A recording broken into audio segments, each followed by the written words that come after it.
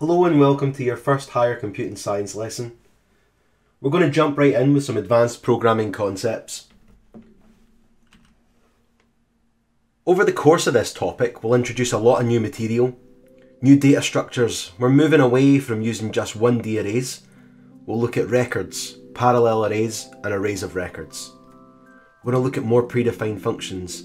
We'll use the modulus operator, and we'll use predefined functions for working with ASCII values.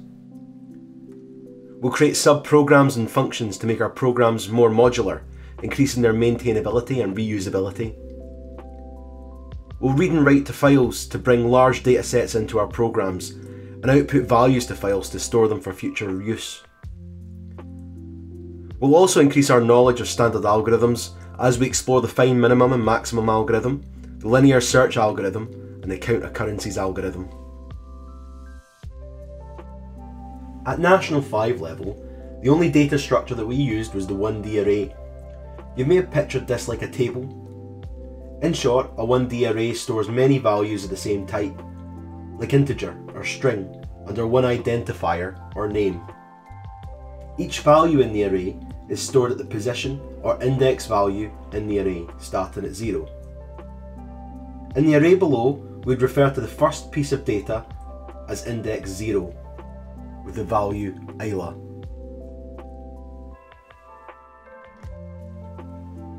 Look at the code in the example below. This is the array traversal algorithm from National 5, used to move through an array using a loop. Beneath the code, I've got an example of what the output will look like. Note the three ellipses used to indicate that the output has been cut off due to being quite long. We'll now switch to Replit to see this program running. I'll do this frequently throughout your video lessons. Well, here we are in Replit. I'm going to click the run button now on this code. As we can see, the loop runs through the array and prints out the value of the array at each index position. Now you're going to complete task 1.1. It's a revision task, so it shouldn't take you too long. You can pause the video here and return to it when you're finished this task. Please make sure you submit it on Google Classroom.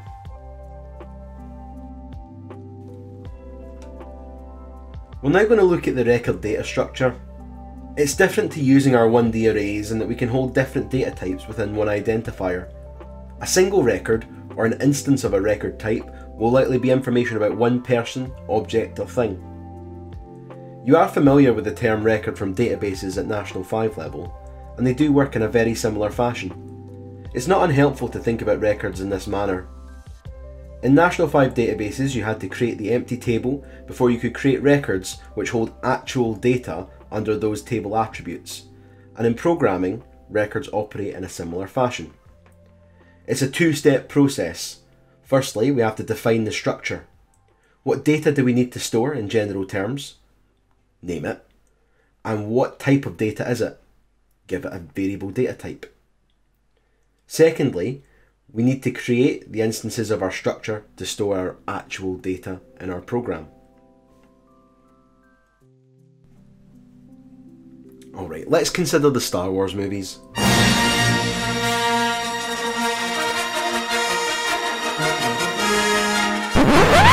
think that's enough considering now. There's loads of different data points that we could actually store in a computer program for each of these movies, but for the purposes of this example we're only going to store the title, the episode number, the release year, the main character, and whether or not I liked the film, and we're going to call that the McWhirter factor. So let's firstly look at how this might be written in your exam paper if you were to get a question on records. I've given you this example in SQA Haggis. Looking at the record, we can see that we start off by giving the record structure a name, and I've called this record Star Wars. Following on from that, in curly brackets, we put the different variables that are going to be contained within our record structure. Title, episode number, release year, main character, and the McWhirter factor. Now you might notice that earlier we said we're going to give each of these a data type as well, and we haven't done it. Well that's because that's over to you as a bit of revision as well. Task 1.2 is called Star Wars data types, and you're going to have to give me a data type for each of these variables. Please pause the video now, complete this task on Google Classroom, and then you can resume the video. So now you've completed the task on assigning data types to the different variables within the Star Wars record. Hopefully they match up with mine as shown in the example below. I've given the title a string data type, the episode number an integer data type, the release year an integer data type, the main character string data type, and the McWhirter factor a boolean data type. Note that we haven't stored any data inside our structure yet, we've just defined what this data is going to look like. We now need to create instances of our record and we're going to see an example of that in SQA Haggis language now. So below, again I've got my record structure being defined on the first two lines of code below. But on the third line, we've got an instance of that record created, and we've called that instance ep1.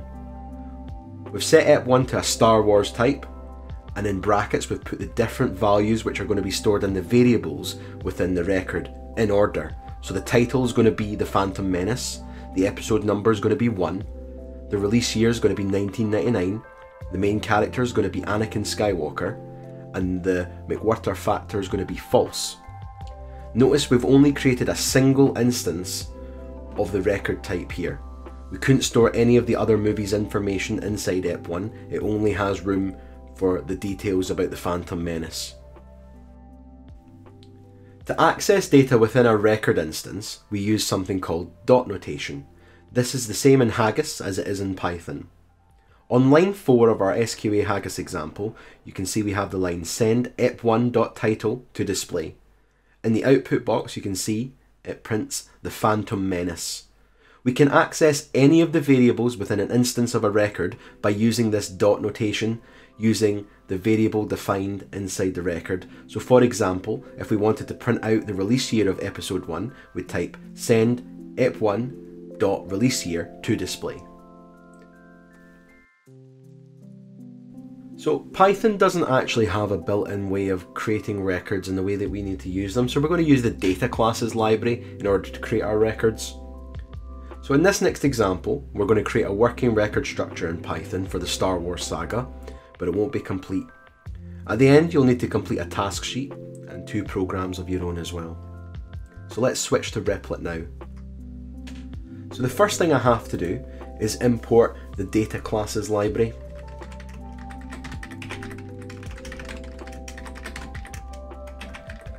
So we're used to doing that with our random um, predefined functions from National 5 level. So that's nothing new to us. We're then going to create the structure of our Star Wars structure, just like we did in our Haggis pseudocode. The first thing I have to do is use something called the data class decorator. So I'm going to type at data class.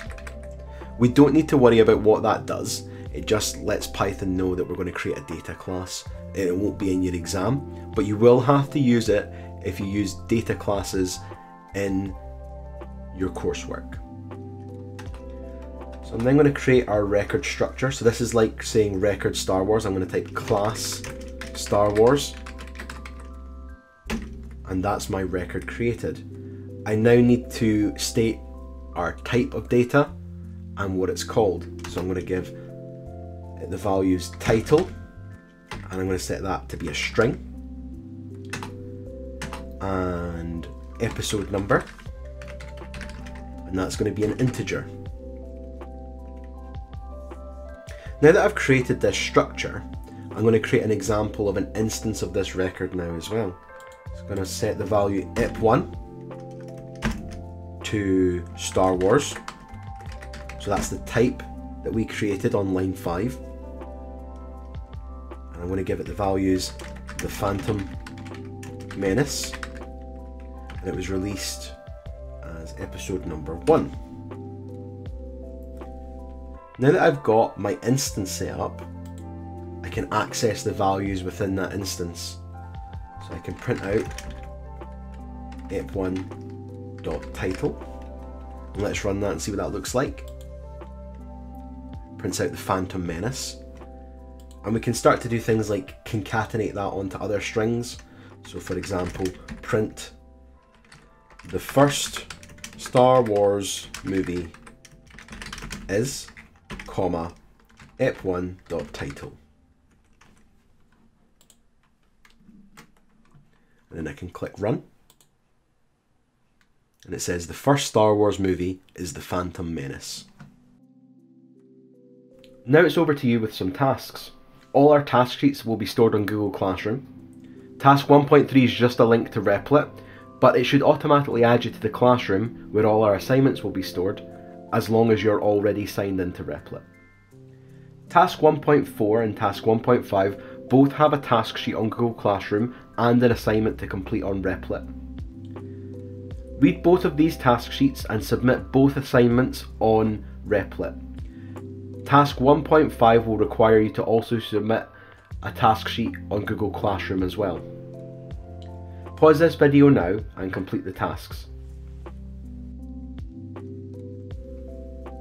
In summary, we've looked at data structures in computer programming.